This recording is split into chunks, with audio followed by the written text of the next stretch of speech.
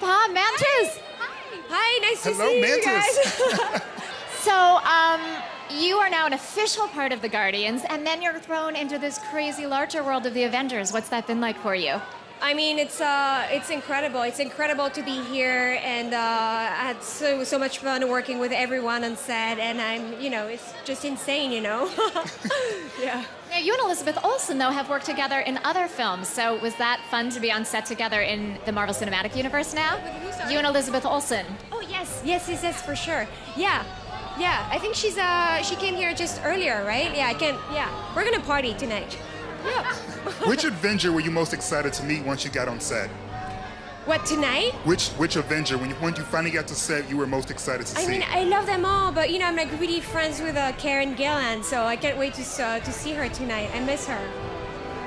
Well, we would love to keep talking to you, but we know you want to see Karen and all the rest of your buddies, so we have to send you on your way. Thank you for talking to the Marvel fans. Thank you so much. Thank you, guys.